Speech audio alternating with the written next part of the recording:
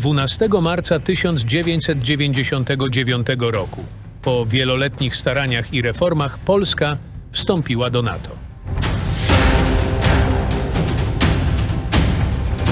To krok, który umocnił integrację z Zachodem oraz rozpoczął intensywną współpracę z sojusznikami, wzmacniając bezpieczeństwo kraju i regionu.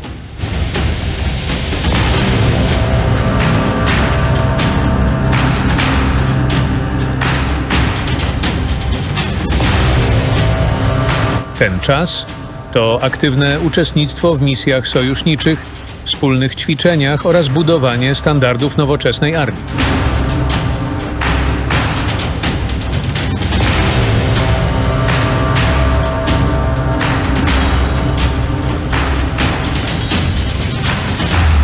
Dwadzieścia pięć lat Polski w NATO. Stronger Together.